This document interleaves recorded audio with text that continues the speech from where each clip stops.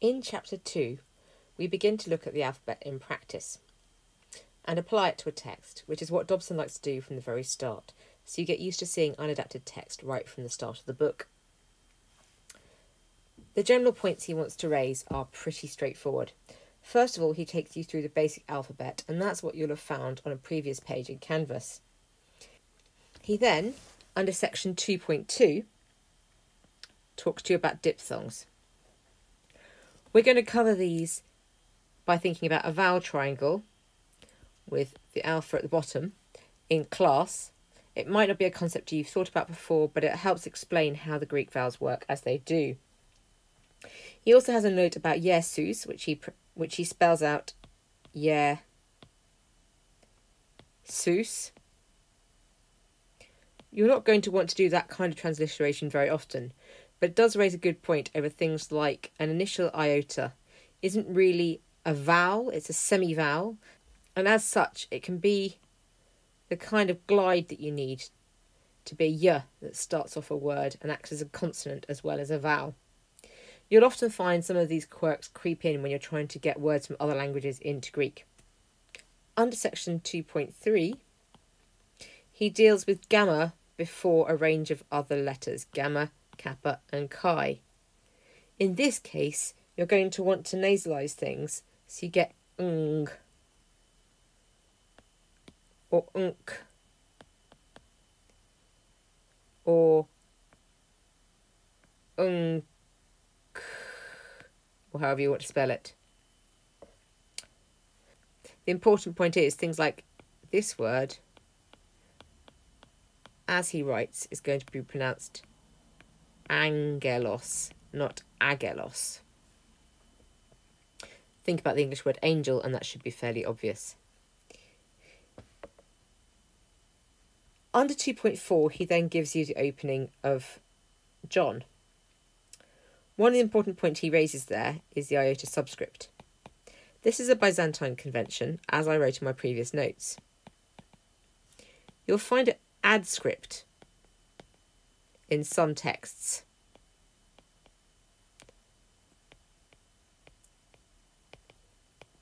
This means that it's at the end of a word. So instead of seeing archer written like that, you'd see it with the iota at the end. This becomes really annoying to read because actually, in some cases, that obscures what the ending is. And it's also just a bit confusing when you're used to seeing it as a subscript. So I hate them. Um, but unfortunately, the text of my favourite author, Sophocles, uses them in the Oxford Classical text. So I have to read them all the time. I then want to have a quick look at the passage that he talks to you about in this section because it raises a lot of really useful points. First of all, let's work through it word by word. In, beginning, was the word. And the word was towards the God and God was the word. Purely looking at the words, you'll see that not all of them have accents, so that words like n and ho don't have accents. Not every word in Greek has an accent, and some words only gain accents in some circumstances. You'll notice, if you're interested in accents, that kai and theos, words where the accent was at the end of the word. Um, that accent often moves from being an acute to a grave, and that's because of the way final acute accents work. You might also notice the importance of breathings if you look at things carefully. In this text, you have n and n. Vowel length matters. N means in, N means was. Straight after this passage, you then get hen. This means one. There is also a word hen, which means which.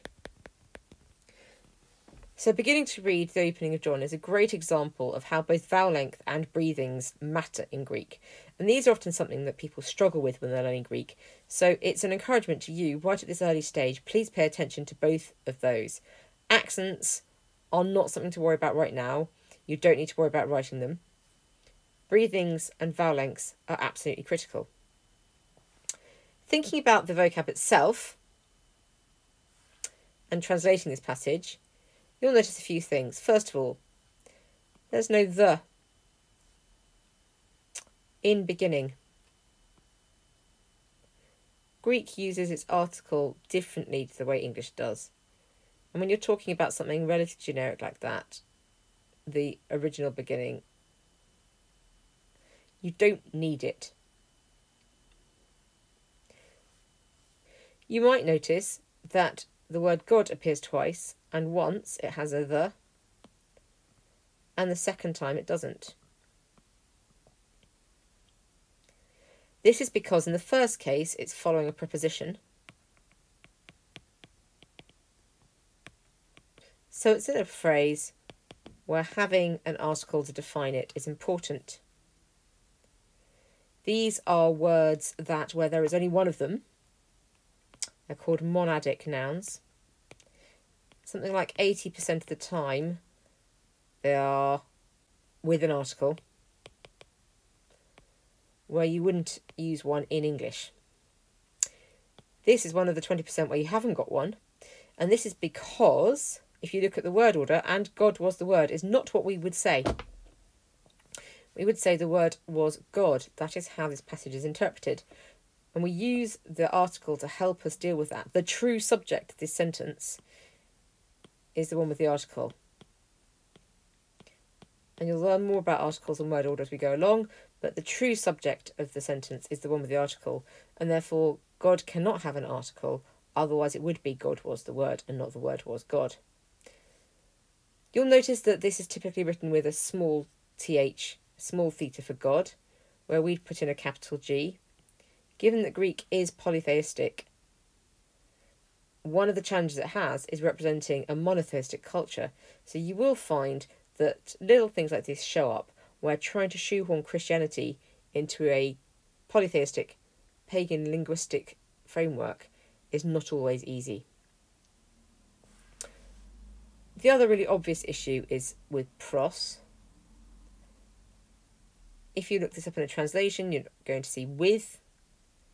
What relationships are with God is always going to be a matter for discussion. Prepositions are one of the hardest things to deal with in the New Testament because they're about relationships, and trying to model relationships in a new religion is going to be really difficult, particularly as a response to any Old Testament idea about our relationship with God.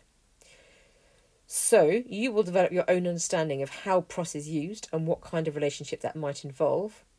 And I've just given to you right now as a very straightforward towards because if you look it up in a vocab list, you're going to see it says to or towards, and that's your starting point to then start understanding what is going on.